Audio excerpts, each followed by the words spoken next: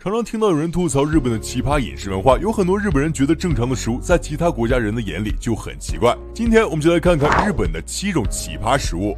章鱼胆饭，该饭上放着一只大章鱼，它看起来一动不动，好像睡着了。但是只要一淋上酱油，章鱼就像触电一样，活生生跳起舞来。日本人口中的美味料理可吓坏了不少外国观光客。这道跳舞章鱼盖饭，碗里的主角大章鱼事先经过厨师特殊处理，神经系统遭到破坏，在酱油倒下去的瞬间才会受到刺激开始扭动。但是当你准备要大快朵颐时，它突然动起来，这也太可怕了吧！鳕鱼白子。白子其实就是雄鱼的精巢，是日本人的最爱的食材之一，可以直接配合酱油和芥末生吃。你可以在日本的任何地方找到它，居酒屋、寿司吧、超市等。据说鳕鱼白子的口感像冰淇淋，但是这道美味我绝对不想尝试。蜜蜂幼虫，蜜蜂幼虫是日本代表性的食用昆虫之一，是已故的裕仁天皇的最爱。成虫蜜蜂会用油炸或电煮的方式食用，而有独特苦味的蜜蜂幼虫则多以电煮方式来增加其甘甜味，并与白饭一起享用，是一道滋养补强的乡土料理。但是看见这些密密麻麻的东西，他们真的能下得去嘴吗？各位勇士，敢不敢一试？鲸鱼肉。在日本人的餐桌上，经常可以看到鲸鱼肉，这是他们自二战以来就常吃的一种食物。因为鲸鱼肉有很高的营养价值，富含脂肪和蛋白质，所以是当时人们的主食之一。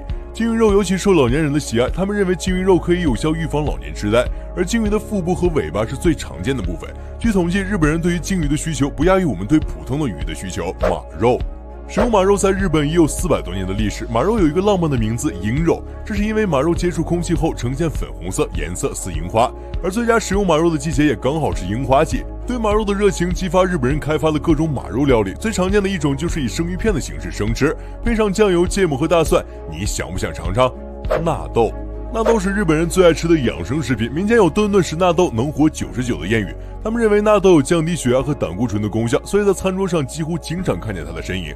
它是由黄豆通过纳豆菌发酵而成的豆制品，除了有一种特殊的酸臭味，还能拉出长长的丝状物。这浓浓的酸臭味真的可以吃吗？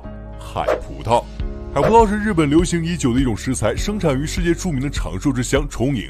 它的样子非常像葡萄，但又不是葡萄，而是一种藻类。海葡萄的营养价值极其丰富，吃了它对身体非常有好处，所以被称为长寿枣。由于海葡萄不能烹煮，所以有很多种生吃的方法。随着海葡萄的名气越来越大，现在海葡萄分布于世界各地，在我国的青岛和海南也有。鳕鱼白子，白子其实就是雄鱼的精巢，是日本人的最爱的食材之一，可以直接配合酱油和芥末生吃。你可以在日本的任何地方找到它，居酒屋、寿司吧、超市等。据说鳕鱼白子的口感像冰淇淋，但是这道美味我绝对不想尝试。长按点赞，运气加加加！评论区等你哟。